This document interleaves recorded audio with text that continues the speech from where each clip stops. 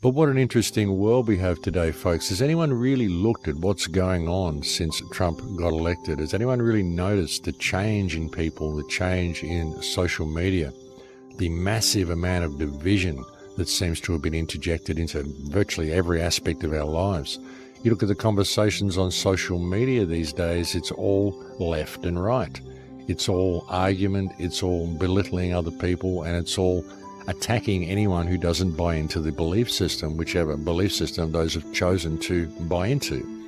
There seems to be very little objectivity left with people, and it's been quite fascinating to see. You've got people supporting more powers for the police, you've got women supporting war, you've got people throwing all the information they've learnt in the last 10 or 15 years out the window to just put their blind faith in government looking at the whole Trump thing, I've tried to remain completely objective through the whole thing. I'm certainly not buying into the concept that he is the savior that everyone's waiting for. I'm certainly not buying into the concept that he is the most evil man that ever existed. But apparently, you have to buy into one of these concepts. It's really been quite amazing to see. If you say a word against Trump, you get attacked by the Trump supporters with quite an extraordinary amount of venom. And if you do not question Trump, then you get attacked by the anti Trump supporters with pretty well the same degree of venom that you get from the other side. And if you choose to remain objective and look at things with an open mind and look at the good stuff he's doing and the bad stuff he's doing and attempt to weigh it all up and not particularly resign yourself to either side, then you get attacked by both camps. It is quite interesting, folks, and I think the name of the game is divide and conquer, and it's working a charm. But the thing about all this, folks, is that with all this divide and conquer, what this has really shown is people's unwillingness to cooperate with each other. You know, really, the people shouldn't be arguing. They should be sitting back and seeing what Trump is going to do, and they should be unifying as one people of the United States. I mean, frankly, those people who are out there protesting Trump are simply protesting democracy. That's all they're doing. I mean, their side didn't win. So what? That's called democracy. That's the way a vote works there's always one group of people who your side doesn't win. And that's just the way it is. And you don't see these riots every time it's somebody else. So it's kind of ridiculous that these riots are happening and these protests are happening. And it should be very obvious to everybody that these riots and protests are being funded. I mean, why else would they be happening? People don't normally do this when their political party loses. And really, what this should be about is unity. And it's shown how unprepared people are to embrace unity and to really step back and look what's going on. And the thing is, folks, it doesn't matter what sort of world Trump is going to lead you into. If you're not a unified people and you can't step into your moral compass, then it isn't going to matter. You know, no one can lead you to safety if you're not prepared to save yourselves and you're not prepared to start doing the right thing and adjust your moral compass. Stop with the accusations. Stop accusing everybody who disagrees with you as being controlled opposition or paid. Stop buying into all this propaganda you're being fed. I mean, stop buying into the left or the right because the truth is that there is no left or right. It's really about people and where your heart is that's going to make a difference. That's what's going to bring about real change. And nothing else is going to do it.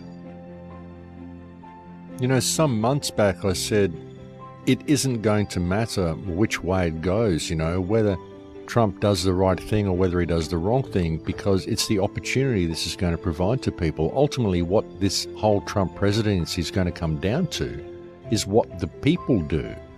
And this is what I've been saying right from the beginning. And what the people are doing right now is terrible, to be quite honest. It really is. People are simply buying into the divide and conquer strategy. And people seem to have thrown all logic and reason and research out of the window. For example, if you question Trump at all, you get accused of being financed by George Soros these days. And any questions against Trump, you also get accused of buying into CNN propaganda. They've certainly done well with their fake news meme, folks. It seems to have infected most people's minds. And so now people believe that anything that disagrees with the opinion that they have is fake news or funded by George Soros. It's quite amazing to see what has happened to the independent media. And it's quite amazing to see how many people have put all of their objectivity aside and decided to follow Trump, which is essentially following the state. I mean, the state is the state, folks, regardless of what face it puts on. I mean, you look at Trump's cabinet, well, he is surrounded by the very same Goldman Sachs and Zionist crew that all the previous administrations have been surrounded by as well. So you've got to really step back and look at this and just check it out and see what he's going to do and what he's going to get away with and what he isn't. He's certainly finding that things are not as easy as he wanted, so in many ways that's a good sign because it shows that, well, he isn't going to be just introducing this completely over the top dictatorial manner of governance because he's just not been allowed to get away with it. And that's kind of a good thing. You've got to have some sort of checks and balances in there, as corrupt as the system is. I mean, you can't give total power to any one man. But then you've got to look at what it is that he's doing and what it is that the Supreme Court is standing up against. And as I've often said, why isn't he doing the really important things? I mean, sure, sealing the borders and making sure your country is secure is good on one hand, but what was it that brought the United States to the point of insecurity that it suffers today? Well, that event was 9 11. So, why isn't that being investigated? And why is DynCorp still being given government contracts? And why has the Clinton Foundation not been investigated and had all of its assets frozen? I mean, these are important issues. And a lot of what's going on the ground seems to be a smokescreen to create a lot of instability on the ground and to keep people fighting amongst each other over the whole left and right paradigm rather than looking at these bigger issues which have caused all of the problems that we now see in the world today. I mean, 9 11 and the war of terror is something that really seriously needs to be looked at as quickly as possible because that could bring this whole situation to a complete closure right now. It could stop all of these invasions. It could bring about a platform whereby we could start rebuilding these countries, which would stop the migrant influx into Europe. I mean, there's so many things that could be achieved by simply investigating the 9 11 attacks and freezing the assets of DynCorp and the Clinton Foundation. So, why isn't this being done? Now, like I said, folks, he is doing a lot of positive stuff on the ground for the people but he's not doing anything really positive on the international stage. But you know, you've got to give him credit for doing some good things. And it's important to understand here, folks, that Trump is not the leader here. I mean, there are forces above Trump. There are those who control things that have always controlled things, of which Trump is simply an agent and working on their behalf. I mean, if you think this isn't going on, then honestly, you've got rocks in your head because everything is a play, folks. All the world is a stage.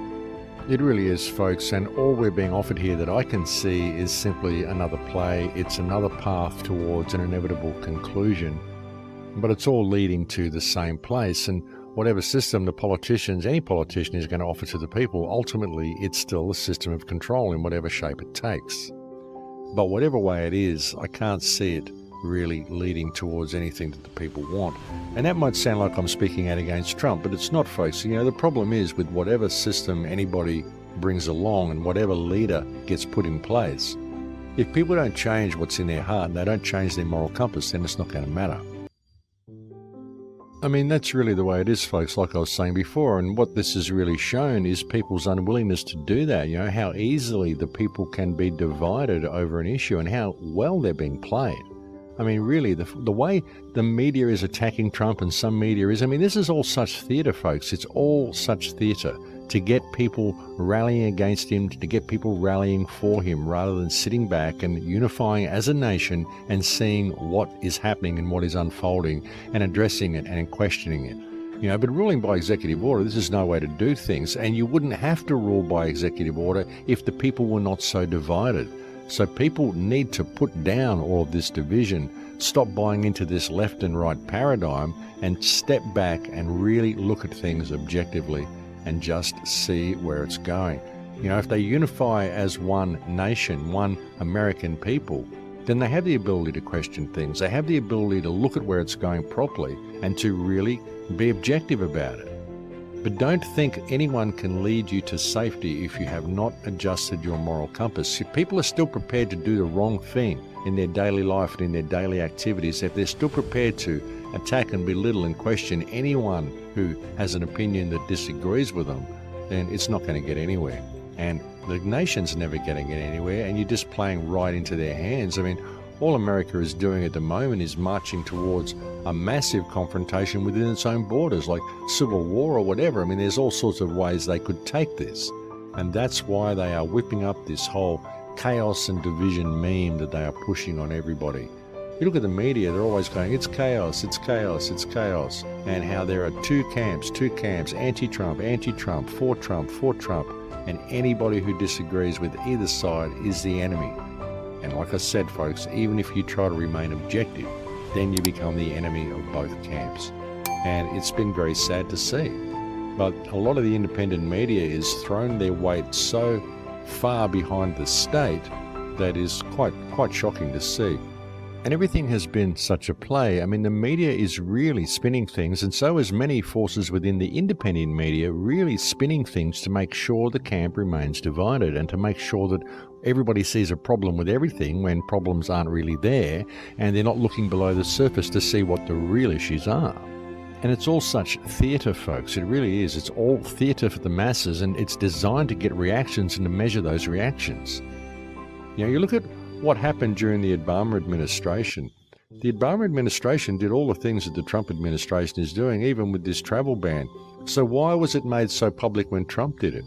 Why was it taken as a travel ban and people didn't look below the surface and look at actually the little testing of the waters that happened with the Department of Homeland Security? Because that's really what it was about. It wasn't about the travel ban at all. You know, and people protest Trump for banning these seven countries, and it's not good that any travel ban's been put in place, but how come they're protesting Trump banning these seven countries when Obama had been bombing these countries for the last eight years and nobody complained about that at all? So people need to look at how they're being played, and they need to stop these protests and get a little bit of focus of what the bigger picture is here. You know, you've got to get out of this left and right paradigm, this left and right mentality, and see that there's a bigger picture here. Trump wouldn't have got into the position that he's in without help, folks, regardless of whether he has good intentions or whether he doesn't. Well, I mean, there's so many ways out of this mess, folks, but it's got to come from the hearts of the people. And if we're not prepared to look there, then there's not going to be any solution found. And, you know, all of this left and right bickering that's going on, all this squabbling, all the attacks, all the animosity I'm seeing on YouTube threads and on Facebook and everywhere I look, I'm just seeing people fighting with each other belittling each other, falsifying information, bending information to suit their own agenda, and just locking themselves into a belief system. You know, it's just very, very disturbing to see how people have fallen into this trap. And I think it's time people regain some focus. I really do. I think it's important.